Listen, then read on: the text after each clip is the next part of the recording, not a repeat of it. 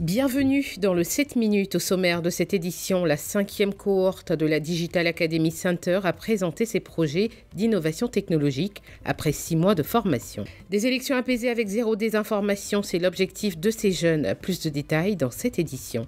Et à Bédiala, la rentrée syndicale du Synapsi a eu lieu.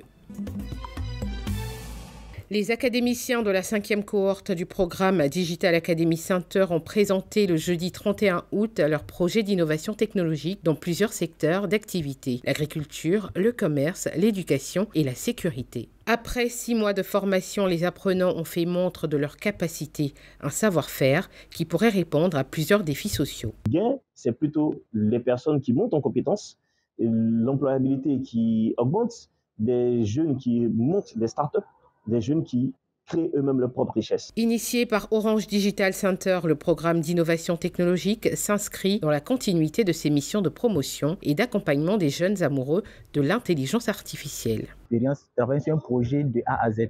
Donc, euh, à partir de là, ça, ça, ça, nous motive déjà à continuer. Et on a appris quand même euh, de, de, cette expérience. Et à partir même des, des remarques des spectateurs, on va pouvoir aussi améliorer nos projets pour que ça soit plus euh, pointu. Ce sont 70 jeunes garçons et filles qui ont pris part à cette session. Elle a porté entre autres sur la robotique, le gaming, la big data et le développement.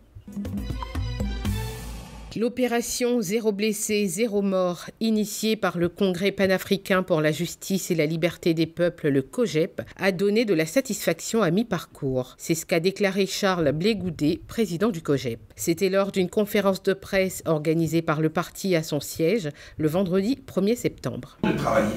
Nous pas seulement juger, nous n'allons pas seulement constater, mais nous allons essayer de continuer notre action. Alors, quelle action réelle nous avons posée Je vous ai parlé des rencontres ciblées que nous avons. C'est que nous publions comme c'est que nous ne publions pas. Mais je pense avoir tourné en Côte d'Ivoire et je suis revenu à mi-parcours. Je suis pour le moment satisfait. Charles Blégoudet a rappelé la raison qui l'avait poussé à initier une telle opération, qui est de créer un climat de paix, même en période électorale. À la question de savoir quels indicateurs permettraient au COGEP de savoir que son message est passé et qu'il n'y aura plus jamais de crise pré ou post-électorale, voici sa réponse. Moi, moi, je veux mes indicateurs qui vont me permettre de me présenter à des élections en 2025. La vie des Ivoiriens est au-dessus de ma vie. La vie des Ivoiriens est au-dessus de mes ambitions politiques, qui ne sont que des ambitions. Je suis prêt, mais je ne suis pas pressé. En 2025, venez me poser la question. Je vais vous répondre sans embâche. Pour Charles Blégoudet, l'important c'est de continuer la sensibilisation. Il a déclaré s'inscrire dans une dynamique de long terme pour la paix avec l'opération Zéro blessé, zéro mort qui a débuté le 26 juillet dernier. Meetup Jeune pour des élections apaisées avec zéro désinformation en 2023. C'est sur ce thème que de jeunes leaders engagés se sont retrouvés le vendredi 1er septembre 2023. Ce panel s'est tenu en présence de jeunes blogueurs, d'activistes web, de leaders d'organisations d'enfants et de jeunes. Organisé par le réseau Action, Justice et Paix, l'objectif est d'encourager l'éducation aux médias pour des élections apaisées en Côte d'Ivoire. Nous organisons des rassemblements jeunes pour outiller la jeunesse sur les techniques, les bonnes techniques d'utilisation des informations au cours des périodes électorales. Tout ça dans l'objectif de prévenir d'éventuels conflits liés aux élections en Côte d'Ivoire. Parce que nous savons que les élections, les jeunes sont vraiment des maillons qui sont utilisés par les décideurs, par les partis politiques au cours des périodes électorales et qui payent le prix fort après les élections. Les jeunes sont appelés à faire preuve de civisme et de citoyenneté avant, pendant et après les élections en Côte d'Ivoire, ainsi qu'à développer un esprit critique face à la vérification des fake news. Manipulation ressort de l'ignorance. Étant jeunes, nous ne devons pas se faire manipuler concernant les élections municipales, mais nous devons porter, nous devons apporter notre voix les élections municipales. Inciter les camarades jeunes à vraiment avoir un comportement civique et à vraiment éviter de publier des informations qui ne sont pas avérées sur les réseaux sociaux. Chacun doit être responsable et poser des actions Notons que le réseau Action, Justice et Paix est une coalition de 16 organisations de jeunes et d'enfants créée au lendemain des crises de 2010-2011 pour soutenir la prise en compte des enfants et des jeunes dans les processus de paix et de sécurité en Côte d'Ivoire.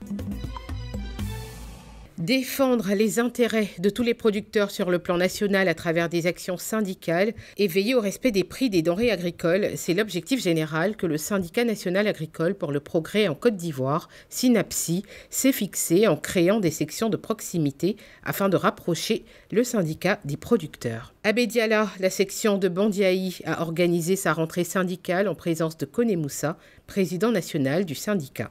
L'ambition réellement sur le terrain, c'est de veiller euh, à ce que dans nos cacao cultures et que les enfants ne soient pas à nos côtés pour ne pas donner raison à ceux qui passent leur temps à diaboliser nos activités et euh, leur demander de faire la qualité, de faire la qualité pour pouvoir bénéficier le fruit de leur, leur effort et euh, veiller au grain pour que le prix annoncé par le gouvernement dans le jour à venir soit vraiment une réalité. Le président Kone Moussa est revenu sur la situation difficile de mes ventes généralisées dans la filière anacarde. C'était un échec en fait constaté par tout le monde, que ce soit le gouvernement, que ce soit les producteurs.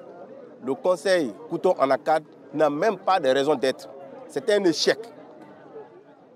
Cette année, le gouvernement a donné plus de 67 milliards à ces organisations pour pouvoir aider les, nos braves paysans. Mais malgré tout cela, rien n'a été fait. La section de Bandiaï est encore plus galvanisée après le passage du président Koné pour améliorer les conditions de vie des producteurs. Je suis enfant du producteur. On a toujours des problèmes. À la vente, on a problème. Souvent, les prix chutent. Nous-mêmes qui sommes opérateurs, même qui disent on a nos coopératives là, on est accusé par nos parents producteurs. Ils disent que nous sommes l'auteur même de baisser les prix. Pourtant, au niveau au niveau hiérarchie même, ça ne va pas, on ne comprend pas. Donc comme le syndicat est créé, ça me rend beaucoup plaisir d'adhérer au syndicat pour défendre les intérêts de mes parents producteurs ainsi que moi-même qui est planteur. Le président du syndicat appelle les producteurs à éviter le travail dangereux des enfants dans leur production et à miser sur la qualité. Voilà qui met fin à cette édition. Merci de nous avoir suivis. L'information continue sur cette info et sur www.cetinfo.ci.